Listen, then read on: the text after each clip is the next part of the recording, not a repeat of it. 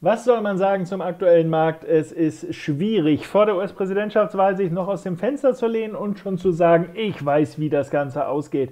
Insofern auch schwierig, da es noch nicht mal so sehr darauf ankommt, naja, das werden wir dann sehen, was heute Nacht passiert, sondern auch natürlich, wie es danach weitergeht. Wird das Wahlergebnis akzeptiert? Wie wird das mit der nachträglichen oder weiteren Stimmzählung aussehen, die ja teilweise noch über viele Tage sich äh, verlängern kann? Und wird das Ergebnis tatsächlich akzeptiert oder gibt es tatsächlich dann Ärger mit den Proud Boys, die ja schon angekündigt haben, im Zweifelsfall hier aktiv werden zu wollen? Das klingt alles nicht wirklich gut, nicht alles äh, im Sinne von, naja, dann können wir jetzt langsam loslegen. Wir halten uns tendenziell ein wenig zurück aktuell.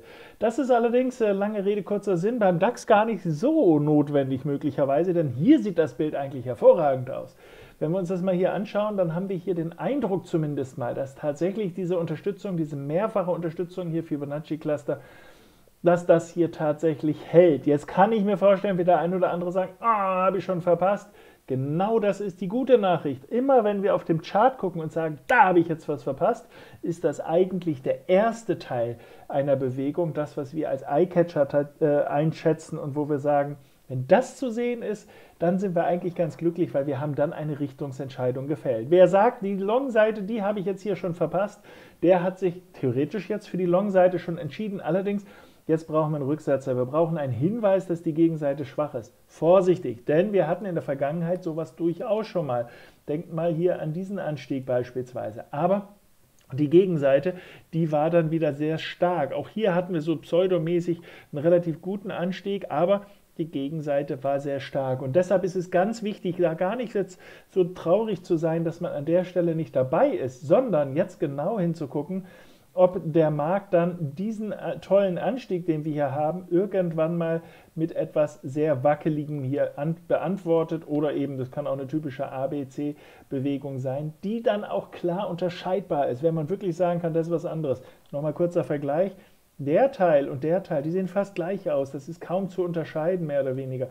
Ähm, also wenn beide Seiten sehr ähnlich sind, sehr steil, dann halte ich mich da lieber zurück, weil ich weiß, dass da keine Richtungsentscheidung gefällt ist.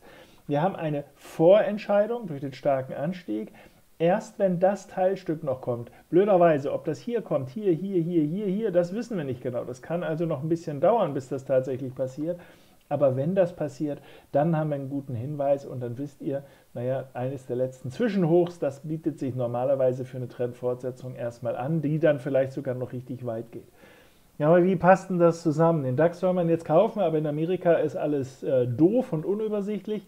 Ja, tatsächlich muss man sagen, das ist natürlich ein Argument. Auf der anderen Seite, auch hier sehen wir, wenn wir den DAX mal vergleichen mit dem, was der Dow Jones gemacht hat, das Bild sieht hier ein bisschen anders zumindest mal aus und vom Nasdaq mal ganz zu schweigen, da ist das Bild ja komplett anders. Machen wir das mal hier raus im Moment.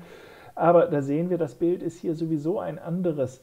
Das heißt, der amerikanische Markt und der deutsche Markt, die werden sicherlich nicht ganz komplett unterschiedlich laufen, aber möglicherweise ist das, was sich dann hier irgendwie mal so äußert, in Amerika ein deutlicher Schub nach unten und bringt dann eben neuere Tiefs, die dann, dann hier später dann wieder in die Aufwärtsrichtung münden, wo dann der amerikanische Markt vielleicht dann nur so ein bisschen hochwackelt. Das ist noch nur Spekulation, aber ich gucke da immer sehr stark drauf, was wird hier geboten und ich sage mal, wenn es gar nicht realistisch ist, ja, dann werden wir wahrscheinlich hier sowas auch entsprechend bekommen.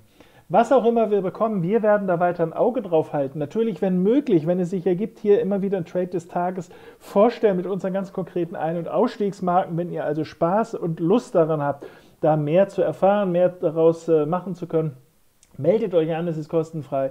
Es wäre schade, wenn ihr das verpasst. In diesem Sinne euch jetzt erstmal alles Gute, ganz liebe Grüße, eine angenehme lange Nacht mit Popcorn und äh, na, wie auch immer ihr sie begehen wollt, vielleicht auch erst, äh, dass man, naja, wahrscheinlich eh erst in den nächsten Tagen was äh, sieht. Ich weiß nicht, ob man sich das wirklich die ganze Nacht antun sollte.